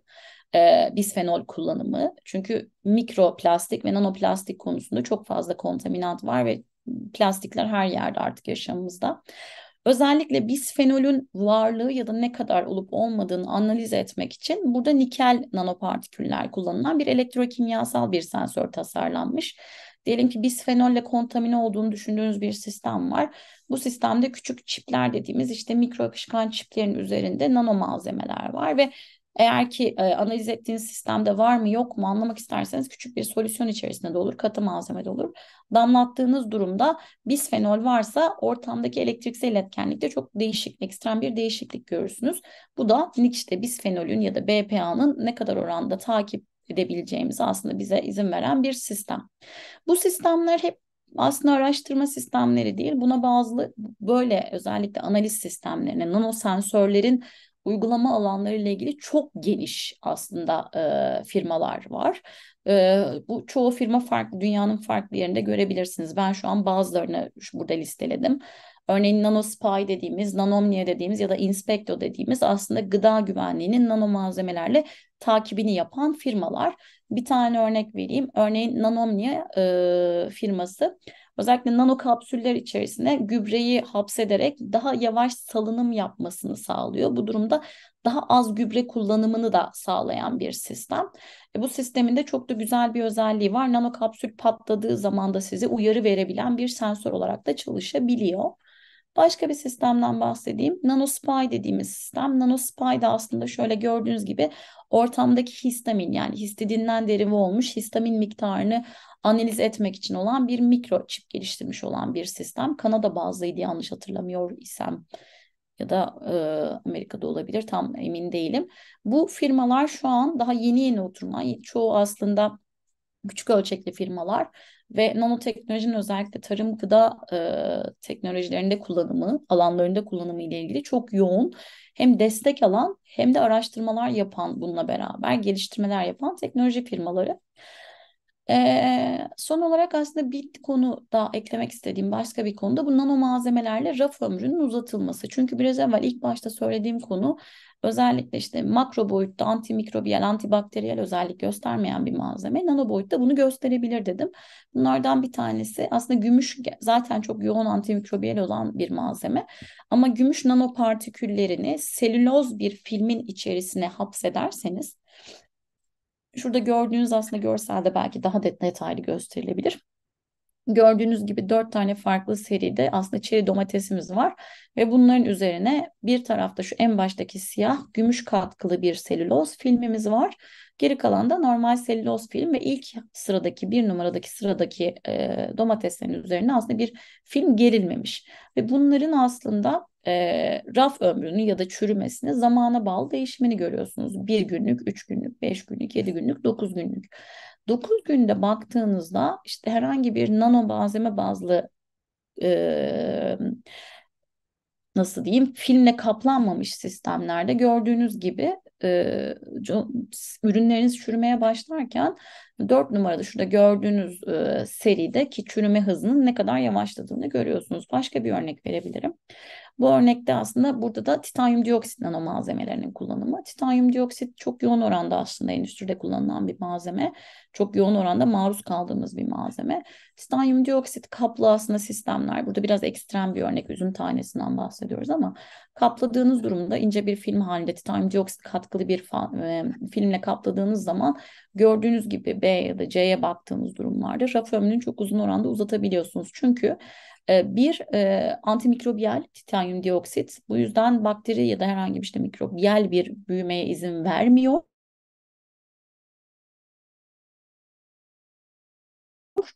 Kontaminasyonda en çok açığa çıkan etilen gazını absorbe etme yeteneğine sahip. Ortamdan sürekli uzaklaştırıyor. Bu yüzden de kontaminasyonu bir şekilde e, daha doğrusu e, dekont, bitkin daha doğrusu ürünün bozulmasını süresini uzatabilen bir sistem tasarlayabiliyorsunuz. Gördüğünüz bütün bu firmalar bu arada nano bazleme bazlı gıdada raf ömrünün uzatılması için e, geliştirilmiş sistemler. Özellikle stretch filmlerin içerisinde nano malzeme kaplamak çok fazla yapılan bir sistem. Ee, işte şurada gördüğünüz poultry aslında biraz daha hani hayvancılık ürünlerine e, izin veren bir sistem. E, grafenoxide örneğin işte grafenoxide çok yoğunlukla kullanılan bir nano malzeme gıdalarda raf ömrünün kullanılması ile ilgili bu konuda çok daha farklı e, firmalar aslında çalışıyor. Tabii bunların toksik e, bir etkisi var mı yok mu bununla da ilgili araştırmalar yapılıyor. Örneğin hem in vivo dediğimiz hem in vitro dediğimiz işte hayvan deneyleri de yapılıyor diye tahmin ediyorum. Hem de e, hücreler üzerinde de denemeler yapılıyor. Tabii ki bunlar artık e, onay almış firmalar. O yüzden e, tabii ki toksik etkileri konusunu ayrı ayrı da incelemek gerekir diye düşünüyorum. Biraz uzattım kusura bakmayın. Özellikle şimdi nano malzemelerin, nanoteknolojilerin bitki ve çevresel faktörlerin e, takibinde kullanılması çok yoğun ve çok yeni teknolojiler ve bu teknolojilerin çok fazla adaptasyona ihtiyacı var. Çünkü çok yüksek maliyetli sistemler, yeni bir teknoloji ve bu yeni teknolojinin geliştirilmesi aşamasında tabii ki çok daha fazla yol kat etmemiz gerekiyor. Ama bu çok önemli çünkü biliyorsunuz ki bir iklim değişikliğinden bahsediyoruz. Özellikle iklim değişikliğinin gübre, maz, e, bitki üzerinde etkilerini incelemek için, anlık değişiklikleri incelemek için ve buna yönelik riskleri belirlemek için nanoteknoloji bazlı tarım ya da dijital tarım nanoteknoloji gerçekten çok önemli. Verimlilik arttırma çalışmalarında herhangi bir işte katkı maddesi kullanıldığında, herhangi bir gübre kullanıldığında, herhangi bir pestisit kullanıldığında bunun direkt olarak bitki sağlığına ya da bitki verimliliğine etkisini gör, görselleştirmek, anlamak amacıyla hızlı cevap veren bir sistem olarak nano malzemeler ve nanoteknoloji çok önemli. Bununla beraber tabii ki yeni bitki, yerli bitki türlerinin yani lokal bitki türlerinin işte e, özellikle nadir bitki türleri dediğimiz sistemlerin e, sağlığının takibi ve korunması çok önemli. Bu kapsamda nano malzeme bazlı sensörler çok büyük yer teşkil ediyor. Tabii ki bunun bir de gıda tarafı var biraz evvel bahsettiğim. İşte hem antimikrobiyal hem oksijen tutucu hem ortamdaki etileni uzaklaştırabilecek bir şekilde ortamdaki hidrasyonu azaltabilecek malzemeler, nano malzemeler, çok da paketlemede yer kazanmayacak, fazla yer tutmayacak malzemeler özellikle tarım gıda sektöründe çok çok daha önemli. Bununla beraber daha çok farklı malzemelerden bahsedebiliriz. Altın, gümüş, işte karbon, grafen bunlar hep allotroplar. Bunlar çok önemli sistemler. Kadar diye düşünüyorum. Biraz fazla sepsis çıktı ama benim unuttuğum umarım bir şey yoktur. Hocam çok teşekkür ediyoruz. Hiç öyle büyük bir heyecanla ve dikkatle dinledik sizi. Emeğinize sağlık. Ee, yani hiç öyle uzatmadınız. Gayet iyiydi hocam. Zamanlama konusunda iyiysem. Hocam tadı damağımızda kaldı diyebilirim hatta. Teşekkür ederiz. Emeğinize sağlık hocam. Rica ederim ne demek. Hocam soru cevap bölümümüzle devam edeceğiz ama öncesinde bir 10 dakika ara vermek istiyorum. Sizi de biraz dinlendirmiş olalım bu arada. Ee, 10 dakika sonra görüşmek üzere. Tamamdır. Görüşmek üzere. Evet arkadaşlar 10 dakika aramızın vakti geldi. Yoklamalarımızı gruplarımızda paylaşacağım. Sorun var etiketiyle sorularınızı iletebileceğiniz linkimiz de e, zaten gruplarımızda mevcut. Hocamızın anlatım sırasında paylaşmıştım. E, 10 dakika sonra e, görüşmek üzere.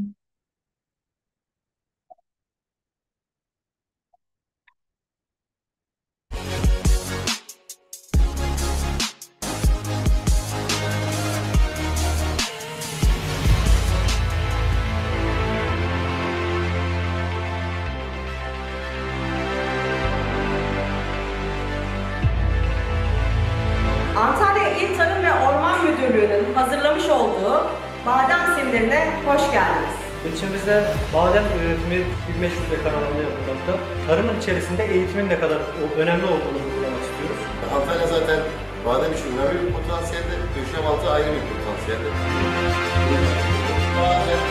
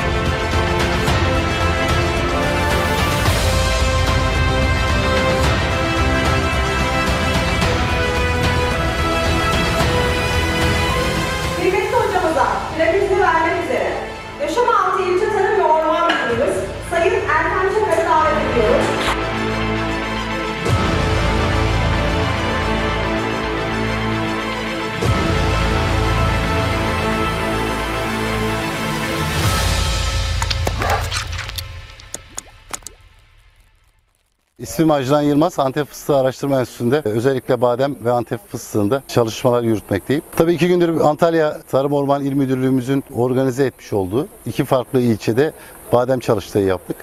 Öncelikle çok dinamik bir teknik elemana sahip olan e, il müdürlüğümüze ve bu e, çalıştayda bizlere destek veren, üreticilerimizle buluşturan teknik elemanlara teşekkür ediyorum. E, Antalya iklim olarak, toprak yapısı olarak e, mevcut imkanları bazında e, bademde dar boğaz olan alanlar içerisinde e, konularda çok e, önemli fırsatlara sahip.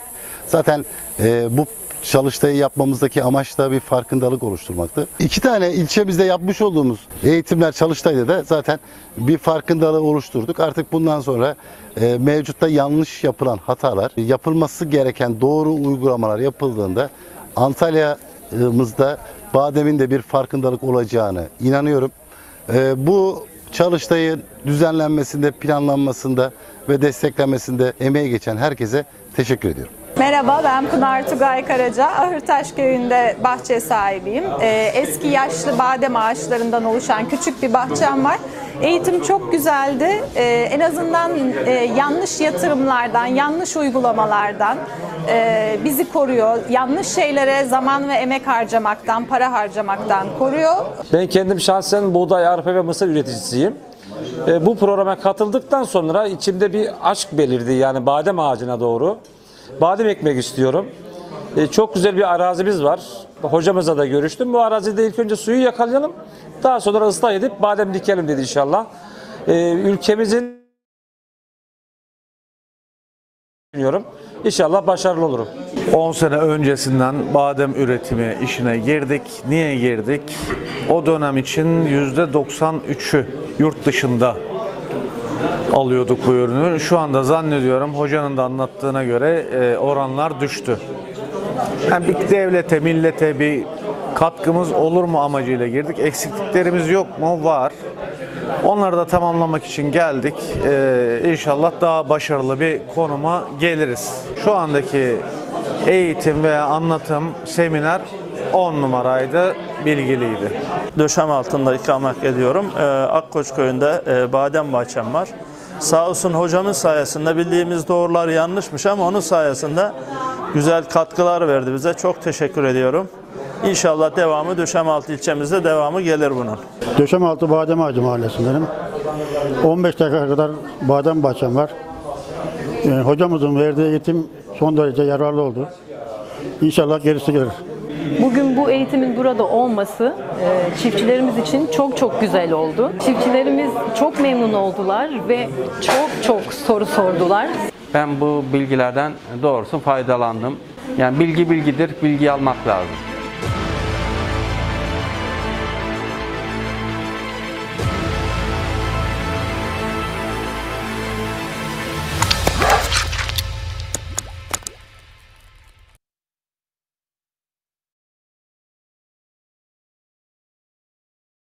Bizim buranın meşhur üzümünün adı tilki kuyruğu.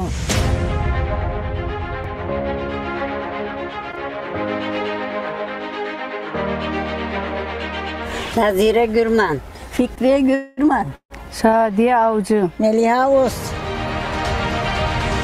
Biz Elmalı. Gölova'nın kankalarıyız. İlk bu bağları dört kişi yaratmış, ekmiş. Ondan sonra üredi 200 gari. sene bilen olmuştur. Evet çok Bizim güzel yaşımız bir- 70. Ta eskiden dedelerimizden, nenelerimizden bu bağların içine biz yani çadır tutuyorduk, azıcık tutuyorduk. Ondan sonra nenemizin, dedemizin yanında bekliyorduk. Üzümleri bekliyorduk. Bekmezleri bu bağlarda kaynatıyorduk. Köyümüzde hani kaynatmıyorduk yani o zamanlar. Şimdi şimdi kaynatıyoruz. Önce biz bu bağlarda kaynatıyorduk hep bekmezleri. Dünyanın Evet. en güzel üzümü Gölova'nın üzümüdür. Küçüktür ama Tadı üzüm tatlıdır olduğundan yani, lezzetlidir. Çok güzeldir yani satıma gittiğimiz zaman da hep bizim buranın üzümünü başka yerin üzümü olsa da üzümü diye bağırırlar pazarlarda. Gölova'nın üzümünü daha iyi tutarlar. Çekirdeği her işi yarıyor. Kan yapıyor çekirdeği. Eczacı Ali'nin de bundanmış. Evet şeysi, bizim üzümümüz üzümü, çok elma. değerlidir. Gübresi yok, suyu yok. Bir tane kükürt atıyoruz biz bunlara bir. Üzümler olmadan küçük ya yani yapraklar sinek olmasın. Üzümlerimizde hani sinekler, sivrisinekler Güve gelmesin diye. güve gelmesin diye bu, bu üzümleri hep yani doğal yani. Hiç gübresi yok. Bal sarma satıyoruz sadece biz bu bağlara. Bizim bağımız meşhur bizim Gölova'nın köyü. Dipten Gölova'nın üzümünü bir tarafın üzümü tutmaz tadını. Çok güzeldir. Dilki kuyruğu bebekler için dilkinin kuyruğuna benzediği Evet, için uzun uzunluğu. öyle. Yüke dayanıklı. Evet. Mesela satıma gittiği yerde 3-5 gün satabilirsin. Dayanıklıdır yani, Dayanıklıdır. dayanıklıdır. Dimrit diye bir Ekmezi üzüm bal var, gibi o olur. dayanmaz. Adamı farıtmaz. Kadını Kadın, kadını kocatmaz. Yedik sıra yiyesin gelir. Kışın asarız biz bunu. Sobanın Kuruduruz, başında kurusu da yeriz. güzel olur. Kuruduruz üzümü. Kuru üzüm yaparız. Kurusu da güzel olur. Yerin çor çocuk yani. Evet, sen de. Bekmez, bekmez çok olur. Eski bunu bizim babamgil böyle arık arık bel küreğine bellerdim. Biz de ayrı kayıtlardık arkasından. Şimdi motorlara sürdürüyorlar, hayvanlara sürdürüyorlar. Üzümü meşhur, üzümü. Üzümümüz üzümü güzel. meşhur. Yani bu Gölova'nın üzümü meşhur. çok güzeldir. Tadı çok güzel bu Öyle üzümün. dersin bunu koparırsın. Arasalar bulamazlar bu üzümü. Deri peynirini açarsın. Yük ekmeği de açarsın. Bunu da koğursun. Harman dövürüz. Harmanla bu zamanla dövülürdün eski. Orada peynirle, ekmeğiyle, Harman yerinde yük ekmeğiyle çok güzel olurdu. Biz bunu şimdi ilgileniyor, aynı yapıyoruz. Yani peynirini koyuyoruz. Gerçekten bu beraber oturuyoruz, benzemiyor mu Yemekleri baksana? istemiyoruz artık. Bunu Aynen. istiyorsun. Yiyenlerin canı da alsın. Yasinler Gölova'ya bu üzümleri almaya Gölova'nın meşhur dilki kuyruğu üzümüdür bunun adı. Bu üzümleri almaya gelsinler. Eski adı Müren. Dedemgilin zamanında Müren. Öğrenmek Şimdi de yeni öğren. nesillere göre Gölova. Eylül'ün 15'inde daha güzel tatlanır. Bekmeze başlayan başlar. Ondan sonra Eylül 20, Ekim 10 gibi bekmezlerimizi kaynatırız. O zaman da Bekmezi böyle de çok İyisin, güzel bu olur. Bak, böyle bu üzümün bekmezi de yarar. satıma şimdi. Cansız satarız. yapar. Kalan nifirgesinde bekmez yaparız. Şimdi Biliyoruz bu yani üzümü pişirmeden. götüreceksin Antalya'da dahi bir serin yere dizeceksin yere 15-20 gün dayanır. Buruşma haline gelir, çürümez. Bu üzümler çok güzeldir. Herkes gelsin beklesin, alsın gitsin. Alın alın alın pazarda. Evet. Nedin Ramazan'ın devatı ben alın, diyordun alın, Ramazan. alın, buyurun üzümlerimizi alın. Ne karşıda ne çarşıda. Üzüme gel üzüme. Elini salla. Gölova'nın meşhur dilki kuyruğu üzümüne bekliyoruz.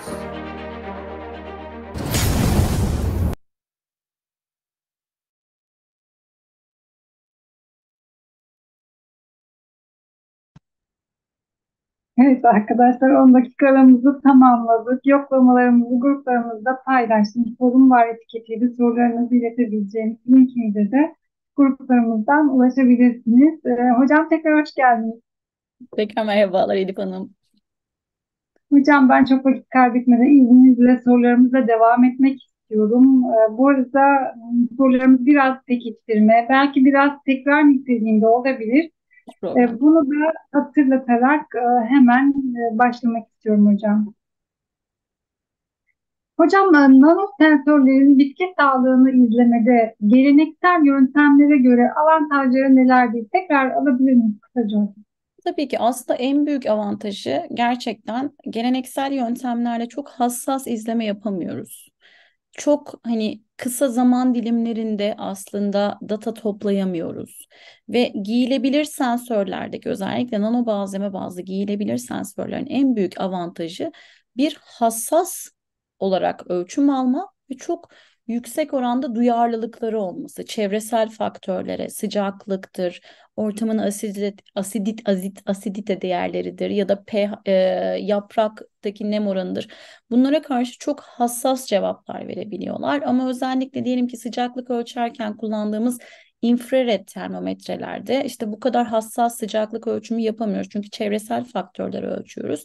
Ama özellikle nano malzeme bazlı giyilebilir sensörlerle toplandığım, topladığımız datalar direkt bitki sıcaklığı, bitki parametreleri olduğu için daha hassas ve daha duyarlı aslında ölçüm yapabiliyoruz diyebiliriz bu durumda. Teşekkür ediyoruz hocam. Hemen diğer sorumuza geçiyorum.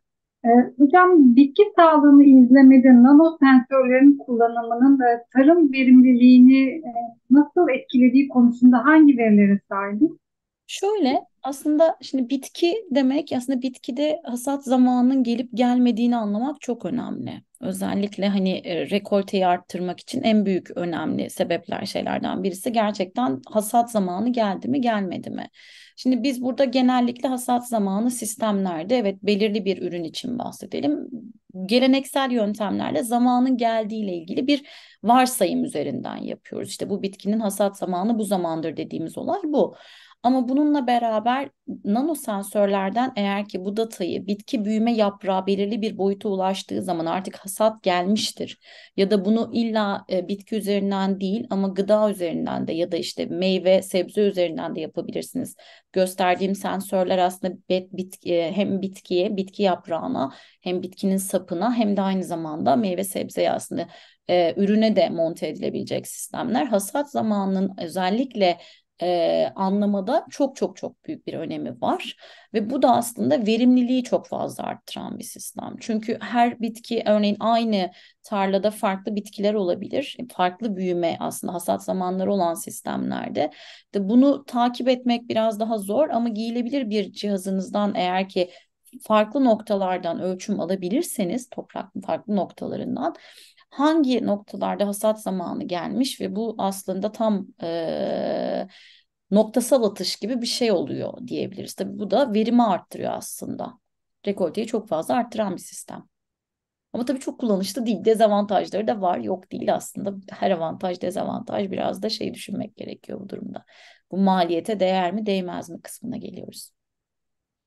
Teşekkür ederiz hocam. Tam da burada hocam şöyle bir sorumuz olabilir. Bu sensörlerin tarım uygulamalarında karşılaştığı potansiyel zorluklar nelerdir ve nasıl aşılmaya çalışılıyor? Ee, şöyle en büyük zorluklardan bir tanesi aslında eee, açık tarlalarda bunu yani sera ortamında değil koşullandırılmış kapalı bir ortamda değil açık tarlalarda büyük tarlalarda eee, hasat yapılacak tarlalarda bu sistemleri nasıl kullanabiliriz? Çünkü aslında bir gereksinim bir probleme yol açabiliyor. Gereksinimlerin başında bu sistemlerin kompakt ve küçük uygulanılabilir teknolojiler olması gerekiyor.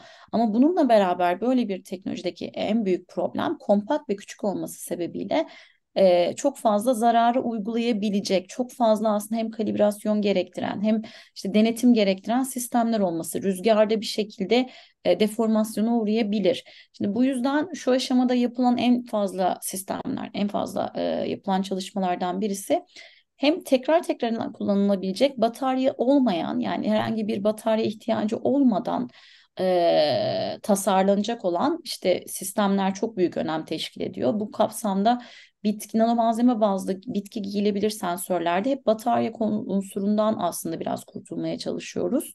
Çünkü bu sürekli işte gidip ortamda bataryayı şarj etme ya da pil değiştirme gibi bir kullanım zorluğu gerektiriyor. Ve bir tarlada bu da çok da makul bir şey değil aslında. Bataryasız sistemler tasarlanması aslında öncelikli konulardan birisi. İkinci öncelikli konulardan birisi de bu sistemlerin özellikle tarlalarda kullanımı için düşük maliyetlerde üretilebiliyor olması. Özellikle nanoteknoloji dediğimiz kavram çok eski bir kavram değil. Ee, aslında hani 1960-1965'ler yılında aslında ilk başta gelişmeye başlayan bir kavramdan bahsediyoruz. Son 10 senede çok fazla uygulamaları arttı. Bununla beraber tabii ki nano üretimi, özellikle nano malzemelerin üretimini çok ucuzlaş ucuzlaştırmak amacımız ki bu teknoloji uygulamalarında daha düşük maliyette teknolojiler geliştirebilelim. Teşekkür ediyoruz hocam. Maliyet hep problem bizde. Evet hocam, çok teşekkürler. Ee, nano sensörlerin çevresel etkileri konusunda yapılmış araştırmalar var mıdır hocam? Nasıl bulgular elde edilmiştir bu araştırmalarda? Çevresel etkilerden kasıt çevresel faktörleri takibi mi yoksa özellikle işte çevresel olarak bir toksik bir malzeme olup olmaması? Yani toksis de gerçekten başta başına bir problem ama şöyle bir problem. Şimdi nano malzemelerin ya da nanoteknoloji e, komponentlarının e, hem sağlığa hem işte çevreye etkilerinin gerçekten çok e, iyi araştırılması gerekiyor. Çünkü bu malzemeler bir kere nano malzemeler çok küçük malzemeler. 2 nanometrenin altında aslında e, kan beyin bariyerini geçebilecek olan malzemeler. İnsana da etkisi çok büyük. Ama tabii bunlar için özellikle çok ekstrem denemeler yapıyoruz. Şöyle yapıyoruz. Ben bir malzeme kullandığımda diyelim ki bir nano sensör tasarladım. Nano malzeme bazlı bir sistem. Bu sistemin e, çevresel olarak bir kontaminant olmaması için geri dönüştürülebilir olarak tasarlanması çok önemli sürdürülebilir olarak bu sensördeki malzemenin örneğin başka bir şeye evirebilmemiz çok önemli. O yüzden bu tasarımlarda çok dikkatli olmaya çalışıyoruz. Elektronik zaten kısımların da bir çevresel faktörü var. Nano malzeme bazlı sensörlerin de var. Genellikle yaptığımız işte şu anki tasarladığımız sistemlerde bitkinin üzerine aslında giyilebilir elektronik olarak tasarlanan bu sistemlerin kullanım ömrü bittiğinde biz buradaki aslında nano partikül, partikülü geri kazanıp başka bir uygulamada kullanılabilir miyiz gibi tasarlam, tasarımlarda çok aslında geniş e, yer bulan bir araştırma konusu. Teşekkür ediyoruz.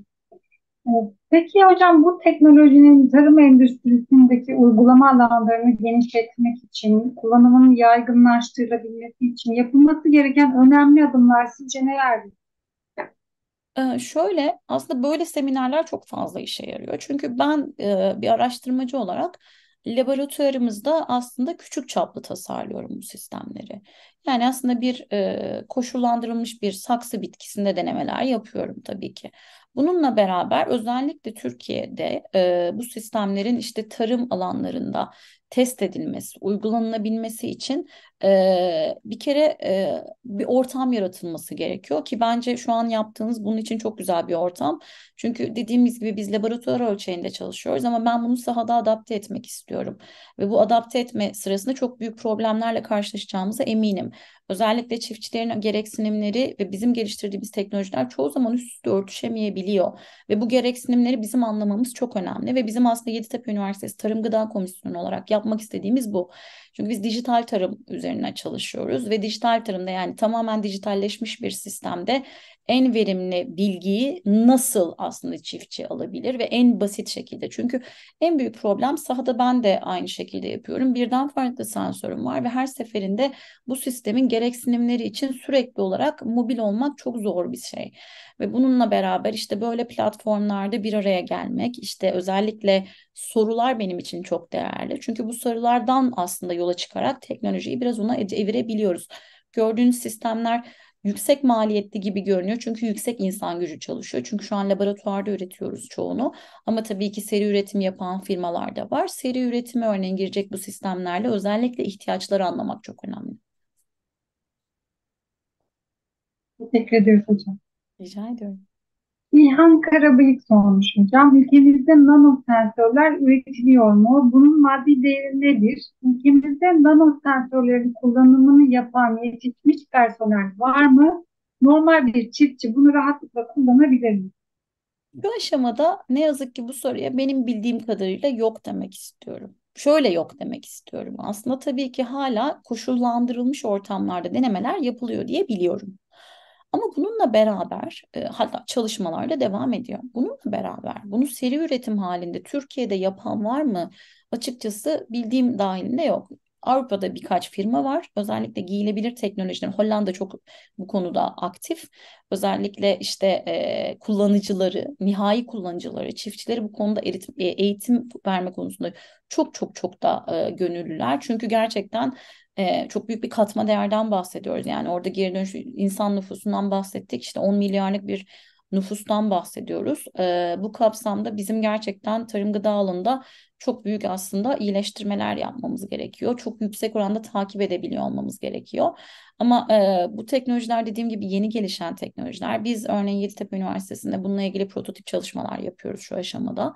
Bildiğim kadarıyla başka üniversitelerde de böyle çalışmalar var. Takip ettiğim güzel çalışmalar var. E, ama amacımız tabii ki bunun hem kullanıcı dostu hem kolay kullanım olan hem de e, veriye en hızlı ve en verimli şekilde aslında ulaşmasını sağlayan kullanıcının bir sistem tasarlamak. Bununla ilgili de işte birkaç şey var. Araştırma grubu da biliyorum. Firma olarak açıkçası çok fazla bu konuda bilgim yok. Ama araştır eğer böyle bir bilgi varsa ben de çok sevinirim. Hemen kontağa, temasa geçerim. Çok da güzel olur. Teşekkür ederiz hocam. Yusuf Pehlivan sormuş. Hocam tek tek bitkilerin üzerine yerleştirmek yerine araçlarda kullanılan GPRS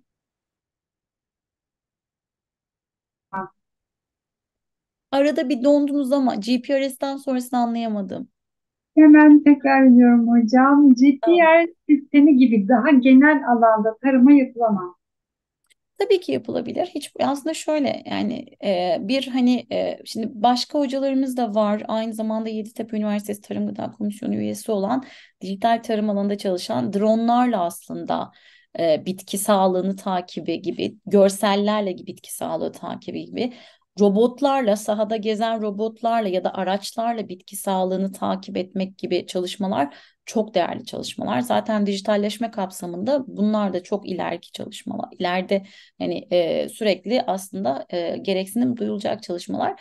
Avantaj dezavantaj konusunda şimdi iki sistemde farklı sistemler. Birinde direkt bitkinin e, sağlığını görüntüleyebiliyorsunuz. Yani aslında kolektif bir bilgi almıyorsunuz sahadan e, birkaç tane farklı noktadan alıyorsunuz ama tabii ki sınırlı sayıda bilgi ama direkt bitkinin sağlığını daha bireysel bir ölçüm yapıyorsunuz diyebilirim. Diğer tarafta aldığınız aslında GPS datasıyla ya da dronlarla ya da robotlarla artık neyse alacağınız data daha kümülatif bir data. Yani tarım, bütün sahadan geniş çaplı hassasiyetinizi düşüreceğiniz bir data olabilir.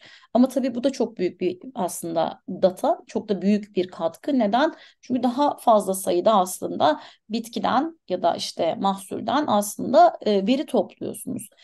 O da olabilir. Yani bununla ilgili çalışmalar da var. E, hatta biz e, bununla ilgili aslında bir konuşma, bir yine webinar serisi düzenlemiştik zamanında.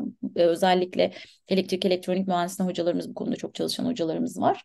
E, tabii ki bu da bir e, çözüm. İyi ya da kötü demeyeyim işte ben nanocuyum o yüzden şey diyemeyeceğim. Teşekkür ederiz hocam. İsmail Ayaz sormuş. Sayın Can Hocama ve emeği geçen ekibe çok teşekkür ediyorum. Zeytin ağacı bakımında nanoteknoloji uygulamaları var mı? Zeytin ürünü için nanoteknolojik bir materyal var mı?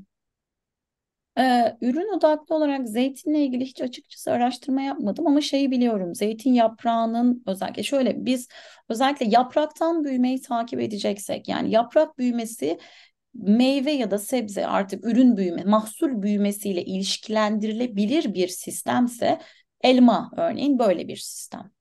E, bu sistemde özellikle işte yaprağa giyilebilir bir sensör kullanmak çok daha makul. Ya da işte e, bitkinin sap büyümesi daha çok ilişkilendirilebilirse buna göre işte sap öz suyundan aslında analiz yapabiliyoruz. Bildiğim kadarıyla zeytin yaprağı biraz daha spesifik bir yaprak. Onunla ilgili açıkçası çok fazla çalışma hani e, ben de dahil olduğum bir sistem değil. Ama zeytinle ilgili zamanında baktığımız özellikle bu sisteme böyle bir şey tasarlanabilir mi? Dediğimiz bir durum oldu. Çünkü Türkiye için çok önemli bir mahsul. Ee, bununla beraber spesifik olarak zeytin için açıkçası hatırlayamıyorum. Ama özellikle domatesle ilgili çok fazla çalışma var. Çünkü yurt dışına ihraç ettiğimiz ürünlerin başında gelen ürünler aslında ilk başta öncelikli alanlar gibi belirleniyor araştırmalarda. Teşekkür ediyoruz hocam. Sadullah Eyi sormuş. Hocam paylaşımlarınız için teşekkürler. Ee, nanoteknolojik yöntemlerle bitki ve hayvan genlerinin ıslahı yoluyla gıda ve tarım üretimi ve kalite artırımı mümkün mü? Devamı da var hocam ama böldüm. İsterseniz okuyayım. E, önce ilk kısmı cevaplayayım. Ben de biraz çünkü şey yaptım. Şimdi Evet. nanoteknolojik yöntemlerle e, bir daha alabilir miyim? Ben de arada şey oldu mu kusura bakmayın. Hemen hocam. Nanoteknolojik yöntemlerle bitki ve hayvan genlerinin ıslahı yoluyla gıda ve tarım üretimi ve kalite artırımı mümkün mü? Gen aslında e, detection dediğimiz gen algılama. O biraz ekstrem bir soru. Şimdi aslında şöyle nano malzemelerle e, beden içerisinde yani bitkinin genlerinde de bir şeyi algılamak isterseniz bir gen mutasyonu var mı örneğin? Ya da işte e, hayvanda örneğin böyle bir gende seçicilik ya da bir şey var mı algılamak isterseniz yapılabilir diye düşünüyorum. Çünkü nano dediğimiz şey aslında çok ufak ölçekli yapılar ve bedenin içerisine, hayvanın içerisine girebilecek yapılar. Aslında araştırma bizim e, laboratuvarın araştırma konularından bir tanesi de bedenin içerisinde çalışan bir nano sensör tasarlayıp hastalık teşhisini erken aşamada algılamak yani yapmak. Örneğin işte bir e, hastalığınız var aynı şey hayvan için de geçerli hastalık durumu var ve bedenin içerisinde bir sensör var ve bu sensör dışarıya sürekli olarak data göndersin. Kablosuz yöntemlerle istiyoruz. Ama tabii bunu gen seviyesinde spesifik olarak belirli şeyleri detekte edebilir mi etmez mi? Teoride eder diye düşünüyorum ama çok spesifik bir konu. Gerçekten burada belki bir e, bizim genetik ve biyomühendislik bölümümüz var. Onlara danışmak daha da makul olabilir. E, ben yapılabilir derim, onlar yapılamaz der. Şimdi karşıda şey yapmayayım. Çünkü gen e, mühendisliği çok farklı bir kavram açıkçası. Teşekkür ederiz. Şöyle devam etmiş hocam katılımcımız. Sektörde artan ve sürekli artmakta ve artacak olan talep artışı, kaliteli ürün, güvenli beslenme ve hastalık riskinin azaltılmasını içeren atılımlar, gıda, tarım ve hayvancılık sektörü için olası riskler var mı ve nelerdir? Ee, Aslında ben hep tarım gıda dedim. Belki tarım gıda demek çok yanlış gerçekten. Terminoloji doğru terminoloji tarım gıda hayvancılık. Ee, çok sevdiğim bir e, hocamız bana sürekli bunu söyler. Hayvancılığı ne olur unutmayın diye. Çünkü e, büyükbaş hayvancılık özellikle çok fazla takip edilmesi gereken bir durum. Çünkü tek besin kaynağımız aslında tarım gıda değil tabii ki.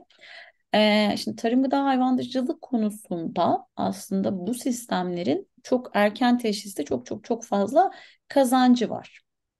Dediğim gibi örneğin hayvanlarda büyükbaş hayvanların sürekli takibinin gerektiği durumlar da var. Ee, herhangi bir problem var mı hayvanda yok mu giyilebilir bir cihazda bir hayvanı da aslında e, gözlemleyebilirsiniz anlık olarak. Bu sistemlerin çok avantajları var tabii ki. Bizim şu an tasarladığımız cihazlar sadece dediğim gibi bitki özel değil e, canlı başka canlılar işte biz insan üzerinde de örneğin uzuv amputasyonu durumunun içinde bazı giyilebilir elektronik malzemeleri tasarlıyoruz. Bunlar tabii ki hayvanlara da adapte olabilecek sistemler. Ama tabii bunun avantajıyla beraber dezavantajları da varmış. İşte biraz bunu aslında düşünmek gerekiyor bitkideki durumun aynısıyla çıkıyor aslında olay karşımıza. Bu sensörler kullanat mı olacak ya da bir biyo bir kere biyo uyumlu olması gerekiyor çünkü bir canlının yüzeyiyle temas ediyor. Herhangi bir işte e, inflamasyon tetiklememesi gerekiyor. Nano malzemenin deri altına aslında geçmemesi gerekiyor. İşte bunlar hep e, tasarımda önemli konular. Ama tabii biz malzeme malzeme bilimi nanoteknoloji mühendisliği bölümü olarak özellikle bu kapsamda geliştirdiğimiz her teknolojinin işte e, teknoloji uygulama aşamasına gelmeden önce bu deneylerin de özellikle canlı deneylerinde yapılması konusunda e, genelde bu, bu yöntemde teknoloji geliştiriyoruz. Biraz uzattım. Teşekkür ederim. Ayşe Özdemir sormuş hocam. Nano sensörleri ağaçlar gibi gövdeli bitkilerde de kullanabiliyor muyuz? Yoksa gövdeli köklü bitkiler için farklı cihazlar var mı?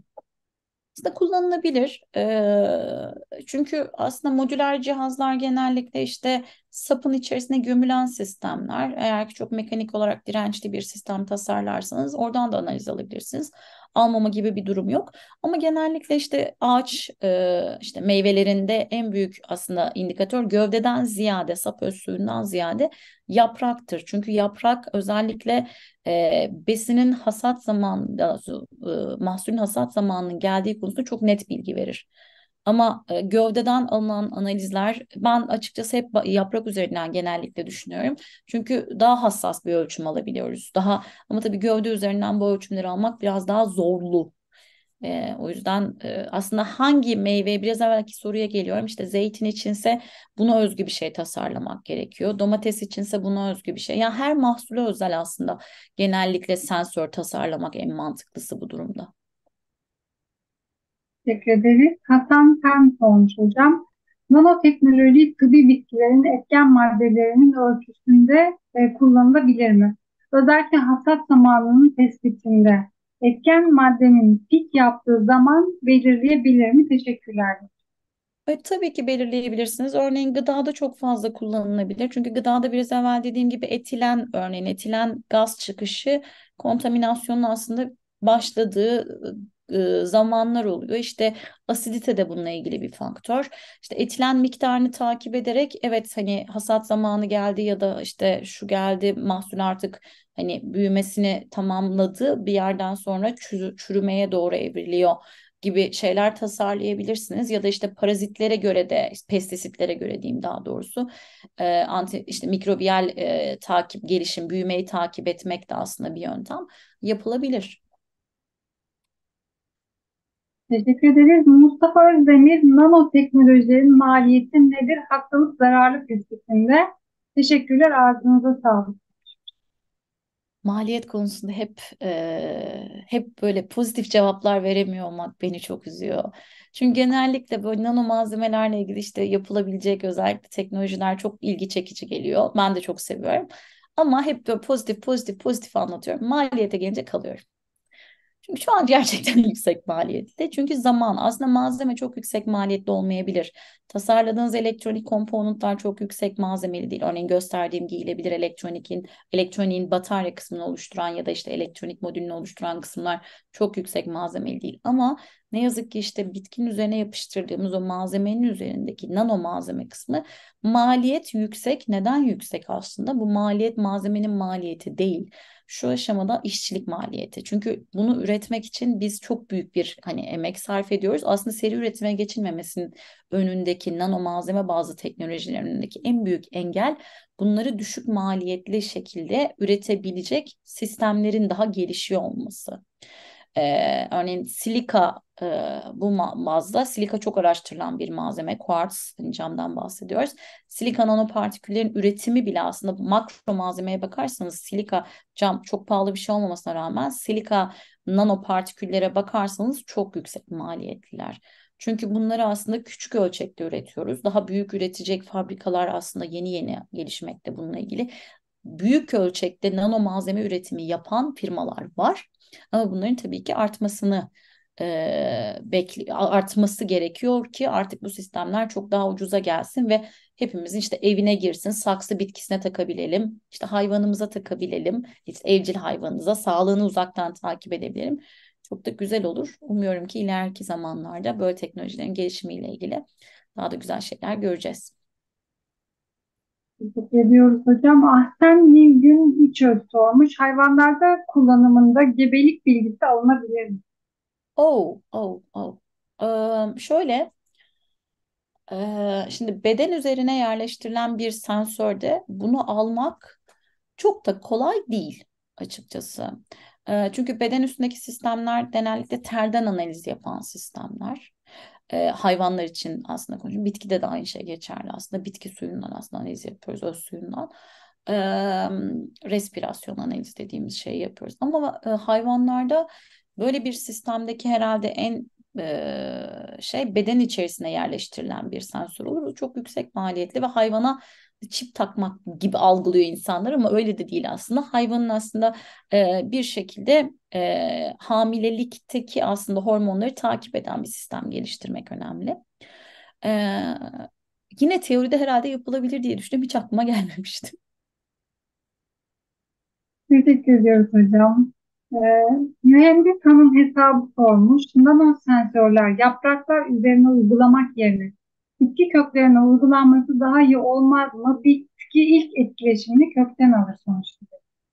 Evet ama orada toprakta çok değişken faktörler var. Şimdi toprak çok daha kompleks bir ortam. Şimdi toprağın içerisinde bir şey tasarlamak e, açık hava ortamına göre tasarlamaktan daha zor.